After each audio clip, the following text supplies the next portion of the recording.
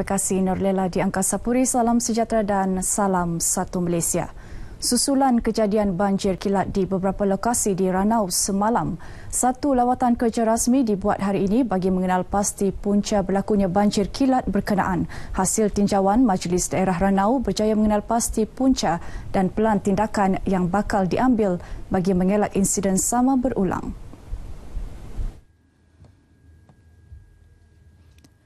Pegawai Daerah Ranau Haji Faimin Kamin yang ditemui dalam lawatan kerja berkenaan menjelaskan taburan air hujan yang banyak, sistem perparitan tersumbat dan pembentung antara punca banjir kilat berlaku.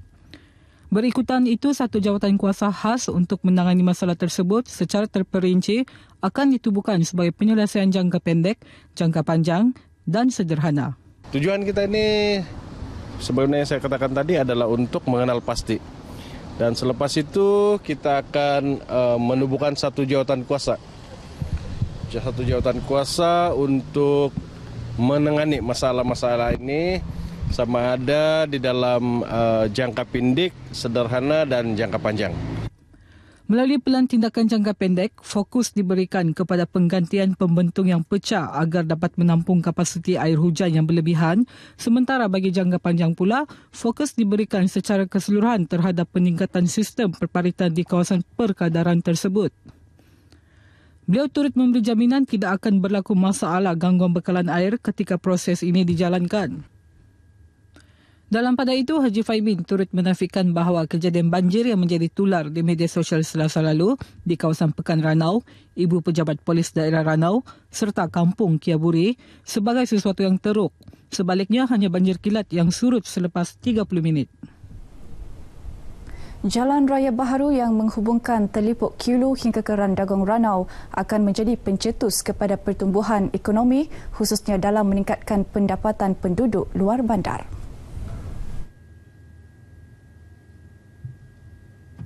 Laluan kedua sepanjang 80 km menghubungkan Bandaraya Kota Kinabalu dengan Ranau yang melibatkan kos kira-kira 300 juta ringgit itu kini sedang rancak dibina.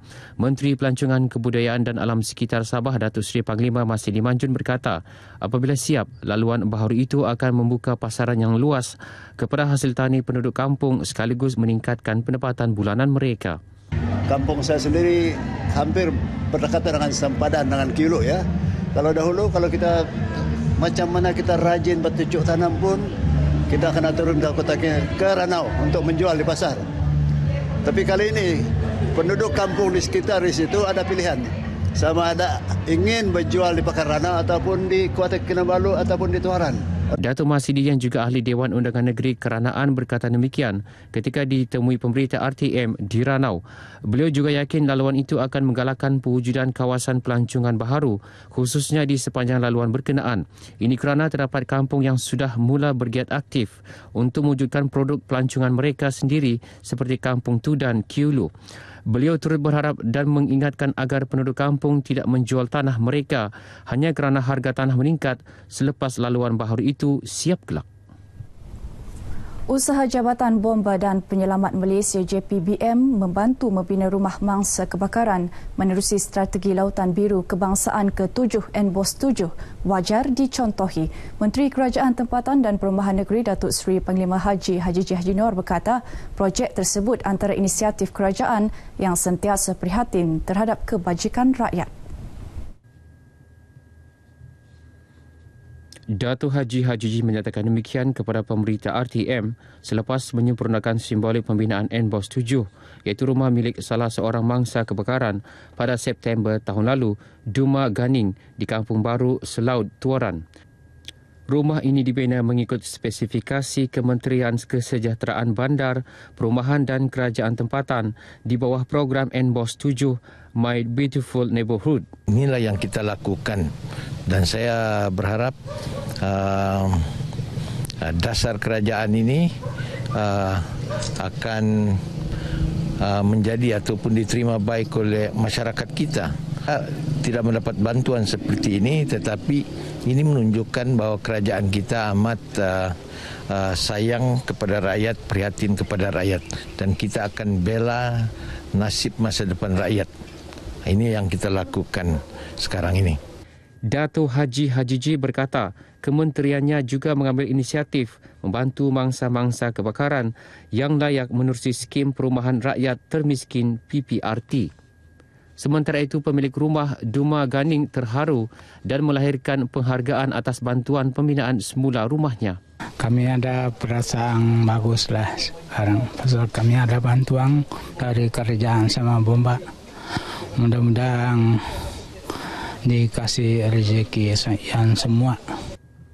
Bagi anggota bomba yang terlibat dalam kerja-kerja pembinaan rumah ini, mereka berbangga diberi peluang mana berbakti hikmat kebajikan kepada masyarakat kurang berkemampuan yang ditimpa musibah.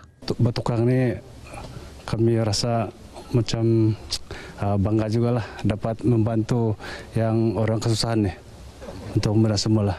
Kerja-kerja pembinaan yang melibatkan 11 pegawai di tapak sedia ada turut merangkumi pendawaian elektrik, pemasangan paip dan mengecat rumah tersebut apabila siap kelak. Sabah mencatat perkembangan positif dalam bidang penulisan dengan pencapaian memberansangkan saban tahun menerusi Anugerah Penulis Asia Tenggara atau Sea Right Awards. Presiden Badan Bahasa dan Sastra Sabah Bahasa Jasni Matlani berkata, tahun ini pihaknya menyasarkan tiga penulis layak dicalonkan sebagai penerima anugerah berkenaan.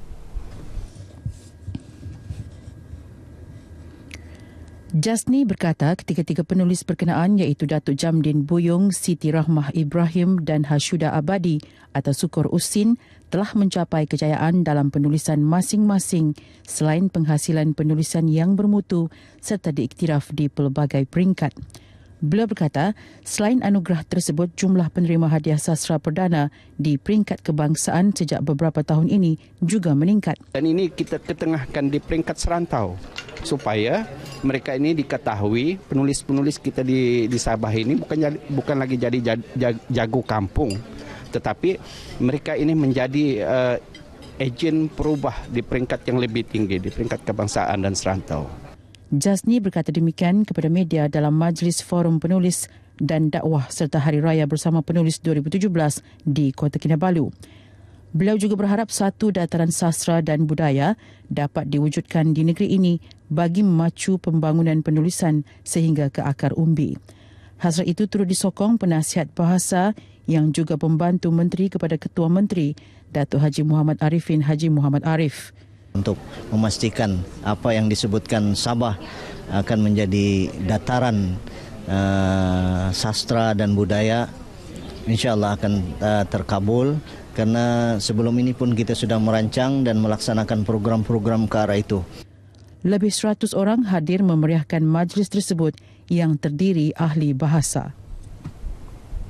Baik, saudara sekian berita dari Sabah petang ini. Teruskan dengan Norlela di Angkasa Puri. Silakan.